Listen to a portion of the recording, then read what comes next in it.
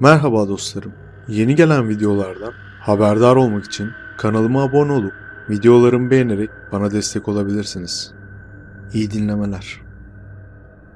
Selamun Aleyküm. Adım Hediye. İstanbul'da yaşıyorum. Sizlere 12 yıl önce başımdan geçen bir olayı anlatacağım. Eşimle birlikte Esenyurt civarında oturuyorduk. Eşim fabrikada vardiyalı bir işte çalışıyordu. Ben ise ev hanımıydım. Evlendikten bir yıl sonra bir kızımız olmuştu. O zamanlar kızım bir yaşındaydı.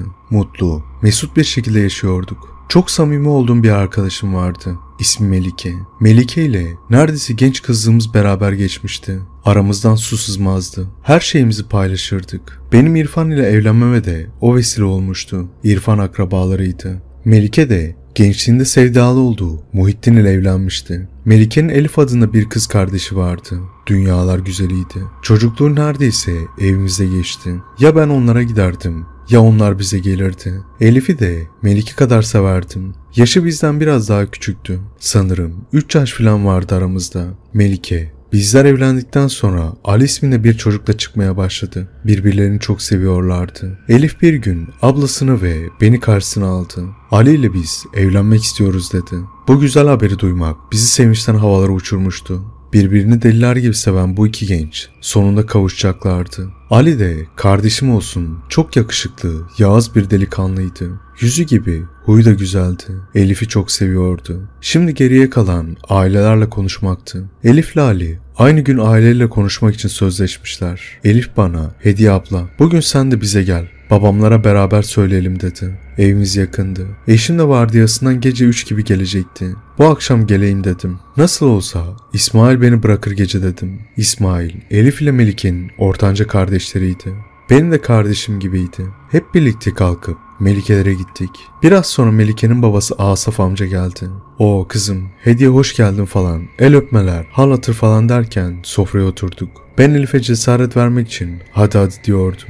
Baktım Elif cesaret edemiyor. Ben atıldım ortaya. Asaf amca ne iyi değil mi? Ben sevdiğime vardım. Melike de öyle. Mutlu mesut yaşıyoruz. Allah razı olsun sizden. İrfan'la beni siz tanıştırdınız. Vesile oldunuz. İrfan'ı çok sevdim ve evlendim. Size ne kadar dua etsem az dedim. Asaf amca, sağ ol kuzum. Mutlu olmana sevindim. Beni bahtiyar ettin. Eğer bedbah olsaydın kendimi çok kötü hissederdim dedi. Sağ ol amca dedim. E şimdi sıra Elif'te artık dedim. Ben böyle deyince Asaf amca evet kızım Doğru söylüyorsun. İyi ki konuyu açtın. Bizim iş yerinde çalışan bir Kasım Usta var. Onun oğlu var. Mühendis çıktı iki sene evvel. Geçen gün Elif'i görmüş. Hani iş yerime gelmiştin. Akşam çıkışta beraber dönmüştük. İşte o zaman o çocuk da görmüş seni. Çok beğenmiş. Babasına sormuş. Babası da arkadaşım olduğu için. Yani anladınız siz olayı. Yarın gelecekler. Tanışacağız dedi. Benim gözler açılmış. Asaf amcaya bakıyordum. Nasıl bir şey yaptım. Ben Elif'e yol açayım devamını getirsin derken meğer Asaf amca yol açmışım. Keşke önce Elif başlasaydı. Asaf amca belki böyle bir şey yapmayacaktı. Sonra Elif'e baktım. Elif'in gözlerinden yaşlar geliyordu. Babası Elif'e bakıp ne oldu kızım neyin var İstemiyor musun görücü dedi. Elif evet veya hayır diyemedi. Elif'le Melike öyle bir terbiye almışlardı ki babalarını hiç itiraz ettiklerini duymadım. Ama bu başkaydı. Mutluluğu, hayatı söz konusuydu. Elif'e hadi söyle der gibi işaret yaptım. Elif hiçbir şey söyleyemedi. Yemekten sonra hemen kalkıp evime gittim. Sağ olsun İsmail beni bıraktı. O gece de Elif hiçbir şey söyleyememiş babasına. Ali ise anlatmış ailesine. Ama Elif maalesef cesaret edememiş. Ertesi gün bu Kasım Usta ve mühendis oğlu tanışmaya gelmişler. Elif surat yapmış ama işte kız evi, naz evidir diye aldırış etmemişler. O gün tanışma faslıyla geçtiğinden konuşma olmamış. Ertesi gün Elif'i arayıp evime çağırdım. Kızım bak senin hayatın söz konusu. Babana söyle. Yarın öbür gün bunlar biz istemeye geliyoruz derler. İyice köşeye sıkışırsın. Bu sefer hiç söyleyemezsin. Babanı mahcup etmeden baba ben beğenmedim dersin. Sonra aradan zaman geçer. Baba benim görüştüğüm biri var. Gelip isteyecekler. İşte bu kadar. Ama sen işi çıkmaza sürüklüyorsun dedim. Elif başını öne eğdi. Babama görüştüğüm biri var diye nasıl derim? Benden habersiz. Erkeklerle mi görüşüyorsun demez mi? Ben de hangi yüzyıldayız kızım? Artık en mutasip aileler bile kızlarını görücü usulü zorla evlendiremiyor. Tabii ki tanıyacaksın, seveceksin, sonra evleneceksin. Eskisi gibi değil artık dedim. Akşama söyleyeceğim dedi. Bana da haber verin dedim. Tamam dedi. Geceyi iple çektim. Gece saat 11 gibi Melike aradı. Ne oldu kız? Çabuk anlat dedim. Elif babama biriyle görüştüğünü söyledi. E geveleme ne oldu sonra dedim. Babam çok kızdı. Elif'in üzerine yürüdü. Kasım Usta'nın oğluyla evleneceksin. Adam mühendis. Yaşatır seni dedi. Elif ise kahroldu. Karşı çıkamadı babama. Akşamdan beri konuşmuyor. Hep susuyor. Ben ise çok üzülmüştüm. Göz göre göre hayatı mahvoluyordu kızcağızın. Sevmediği biriyle evlendireceklerdi kızı. Asaf amcadan hiç beklemezdim. O günden sonra Elif hiç konuşmadı. Bir hafta sonra istemeye geldiler. Söz kestiler. Elif mahvolmuştu. Melike'nin ise elinden bir şey gelmiyordu. Elif Ali ile son kez görüşmek ve ayrılmak için buluştu. Ali kahrolmuş. Ağlayarak Elif'i hiç unutmayacağını söylemiş. Elif geldiğinde perişan haldeydi. Yol boyunca ağlamış, bitap düşmüştü. Direkt bize gelmiş. İrfan o gün evdeydi. İrfan'la beraber Elif'i sakinleştirmeye çalıştık ama maalesef deli gibi ağlıyor ve gözyaşı döküyordu. O gün akşam İsmail ve Melike geldi. Kolundan tutarak eve götürdüler. Birkaç ay sonra düğün hazırlığı başladı. Elif yine hiç konuşmuyor. Sürekli surat asıyordu ama ne damadın ne de ailesinin umurunda değildi. Damat bir kez olsun sormaz mı? Bu ne surat diye. Herkes çok mutluydu. Elif hariç. Düğün hazırlığı, eşyalar, elbiseler. En son sıra gelinliğe geldi. Elif gelinlik provasında dayanamamış, bayılmış, hastaneye kaldırmışlar. Birkaç gün sonra doktor Elif'in durumunun bedensel değil, ruhsal sıkıntılar olduğunu söylemiş. Elif'i psikiyatri servisine götürdüler.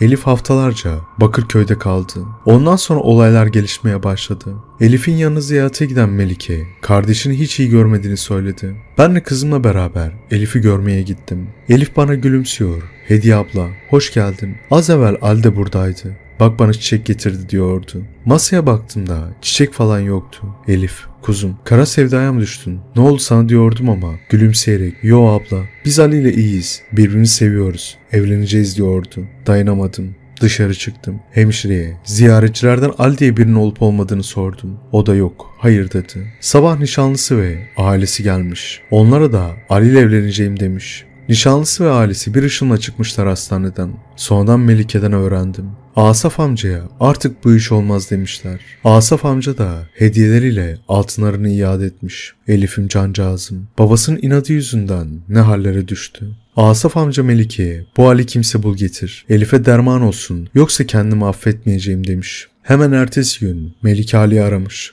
Hastanede buluşmuşlar. Tabi Asaf amca gelmemiş. Melike Ali'ye olan biteni anlatmış. Şimdi Elif'in tek dermanı sensin demiş. Ali yukarı Elif'in yanına çıkmış. Ancak gördükleri karşısına şoka uğramış. Elif'i bir ucube, bir yaratık gibi gördüğünü anlatıyor. Odaya girdiğimde sanki ters dönmüş bir kaplumbağa gibi debeliniyordu. Ayrıca ağzı burnu kan içindeydi diyordu. Hızla aşağı koşup Melike olanları anlatmış. Ali oradan kaçarak uzaklaşmış. Melike ise hemen yukarı çıkmış. Ancak Elif ağlarken bulmuş. Elif ne oldu sana kuzum? Nedir bu halin diye sorunca Elif de abla Ali buraya geldi. Bana koşup sarılır zannettim ama şeytan görmüş gibi korkarak kaçtı demiş. Melike bunlara bir anlam verememiş. Halbuki Melike hasta hayatında dahi dünya güzeliydi. Ablası sürekli saçlarını tarar, kıyafetlerini düzenli tutardı. Aylar geçmişti. Melike bir gün beni aradı. Hediye, Elif çok kötü. Kan kusuyor dedi.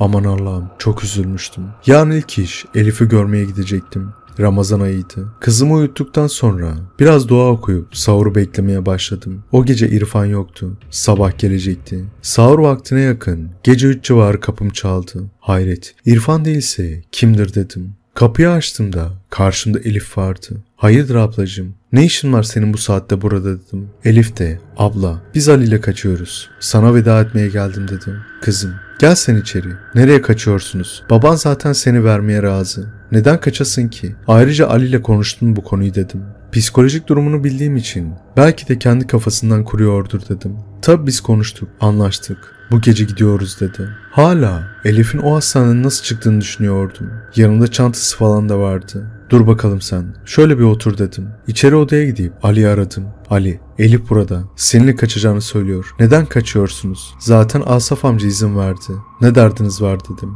Ali kekeme bir sesle abla Elif şu an karşımda dedi. Nasıl yani dedim. Kapı çal dedi. O anda sen aradın. Kapıyı açıp telefonu açtım. Karşımda Elif. Sen telefonda Elif burada diyorsun. Ne demek bu abla dedi. Koşarak salona geçtim. Elif yoktu. Hemen kızımın odasına koştum. Kızım uyuyordu yatağında. Ali'ye, Elif nasıl görünüyor sana dedim. Gayet normal abla dedi. Tamam ablacım. Elif gitmiş sanırım. Ben fark etmemişim dedim. Ali titrek bir sesle tamam abla anladım ben dedi. Ardından Melike'yi aradım. Melike, Elif buradaydı. Oturuyordu içeride. Ali ile kaçacağız falan dedi. Ben de içeriye doğru gidip Ali aradım. Ali de bana Elif karşımda abla dedi. Hemen içeri koştum. Baktım Elif yok. Neler oluyor Melike? Nedir bu? Ben anlamadım dedim. Melike telefonda ağlıyordu. Neden ağlıyorsun dedim. Hediye. Elif 10 dakika önce buradaydı dedi. Nasıl yani dedim. Ben de anlamadım. Hastaneden izinli çıktım dedi. Sizi görüp gideceğim dedi. Ayrıca yarın açmam için bana bir mektup bıraktı ama ben dayanamadım ve açtım. Şu an onu okuyorum dedi. Neler yazıyor Melike dedim. Canım ablam. Ben Ali'yi çok sevdim. Ancak kavuşamadım. Umarım hayatı boyunca mutlu olur. Nişanlım olacak alçak bana büyü yapmış. Ben hastaneye düştükten sonra beni ziyarete gelmişti. Ben Ali'yi seviyorum dedim. Sonra babama gidip nişanı atmış. Çok da umurumdaydı. Ancak bana yaptığı büyüye bir de Ali'yi de katmış. Mutlu olmamı o da istememiş. Dilerim Allah'tan hayatı boyunca mutluluk tatmasın. Gelelim babama. Benim mutluluğuma mani oldu ama sonuçta babalık hakkı var. Çok büyük günaha girdi. Sevenlere ayırdı. Allah onu bildiği gibi yapsın. Ona havale ettim. Anneme ve İsmail'e selamlar. Onları da çok öpüyorum. Allah'a ısmarladık.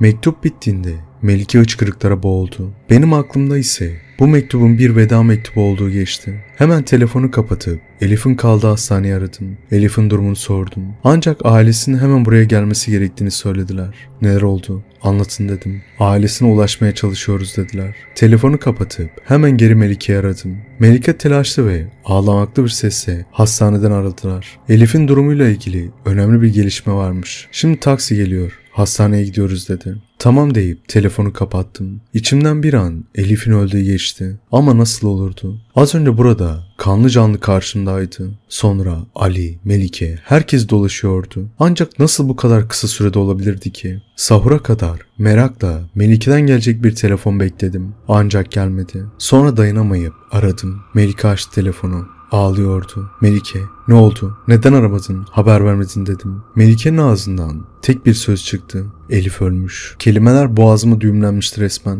Ne sorabilirdim ki? Ne zaman ölmüş? Nasıl ölmüş? Ne denebilirdi ki? Sabaha kadar ağlamaktan içim dışıma çıktı. Sabah olup da İrfan gelince İrfan'a olan biteni anlatıp Melike'lere koştum. Annesi, babası, kardeşi hepsi perişan olmuştu. Biraz sonra siren sesleriyle Elif'in cenazesini getirdiler. Elif'im, güzel meleğim. Tabutun üstüne gelin dua koydular ve toprağa verdiler. Fark ettim ki Alde cenazeye gelmişti. Fark ettirmiyordu ama perişan olmuştu. Aklı karışık, aptallaşmış gibiydi. Günlerce süren taziye merasimlerinden sonra ben, Melike ve Ali bir araya gelebilmiştik.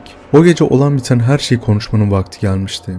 Bir odaya geçip konuşmaya başladık. Elif'in ölüm saati gece 2.30'du. Ancak Melike geldiğinde saat aynı saatti ve bana geldiği saat de 3'e yakındı. En son Ali'nin yanındaydı. Ondan sonra olanları Ali'den dinledik. Ali anlatıyor. Gece saat 3 civarı Hediye abla beni aradı. Aynı anda kapım çaldı. Ramazan ayı olduğu için açmakta tereddüt etmedim. Telefonu açıp Hediye ablayla konuşurken kapıyı da açmıştım. Karşında Elif. Put gibi kalmıştım. Hastanede bana bir ucube gibi görünmüştü. Halbuki burada, karşımda, dünyalar güzeli gibiydi. Yüzünden nur saçıyordu sanki. Sonra telefondaki Hediye abla Elif'in orada olduğunu söyleyince kan beynime sıçradı. Elif bana kaçacakmış falan dedi Hediye abla. Sonra ben Elif burada deyince Hediye abla Elif gitmiş dedi. Ey Ali, Elif en son seninle göründü. Neler oldu ondan sonra anlatsana dedim. Ali devam etti. Elif'i öyle karşımda görünce afalladım. İçeride annem babam vardı. Sahur için birazdan uyanacaklardı.